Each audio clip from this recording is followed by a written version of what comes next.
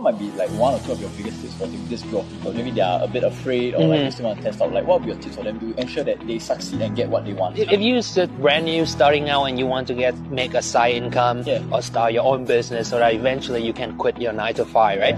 I guess the biggest tip is invest in yourself, invest in your knowledge. Yeah. That's the biggest thing. What I learned from school, I never feel like it was any useful to me. Yeah. Like the knowledge from there was training me to be an employee. By my third year, Yeah. like was it one year before I graduated, I feel like right now I'm ready to work for somebody else. Yeah. That's all I feel I was ready for. Yeah. I was not ready to start my own business Yeah. at all. That's the moment when okay, I cannot live my future Yeah. to the education system Yeah. because they were designed to train me to be an employee.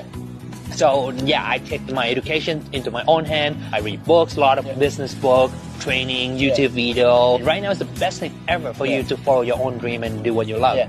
because of the internet. Everything you want to learn is Yeah. on Google. Yeah. Notice how I first started? Like I went on Google, searched Yeah. how to start a business on the internet. Yeah.